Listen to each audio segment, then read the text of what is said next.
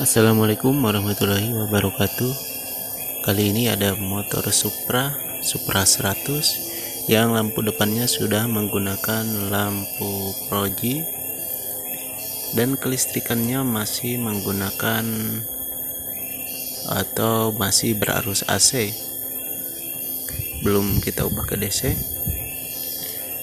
dan kita lihat reviewnya apakah lampu ini bagus atau enggak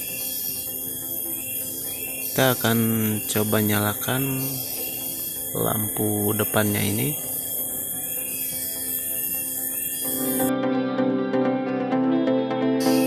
Nah seperti ini untuk tampilan sorot lampunya. Ini ada tiga mode kalau nggak salah. Ini ada tiga mode. Mode yang pertama dia nyala nyala berkedip dan nyala tetap kemudian nyala seperti ini.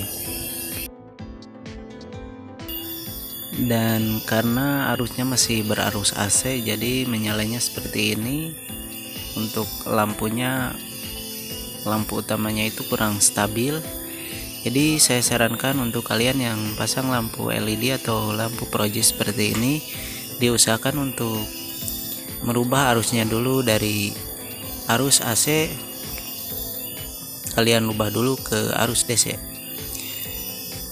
supaya bisa lebih stabil untuk kelistrikannya dan lebih awet untuk pemakaian jangka panjangnya.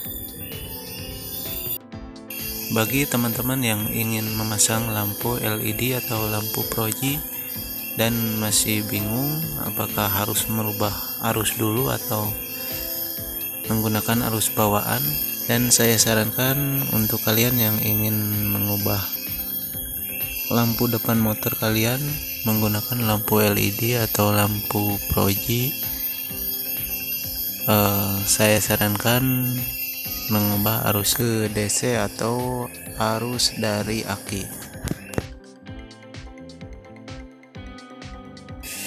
dan oke okay, segitu dulu video dari saya. Mudah-mudahan bermanfaat untuk kalian semua sampai jumpa lagi di video-video selanjutnya. Wassalamualaikum warahmatullahi wabarakatuh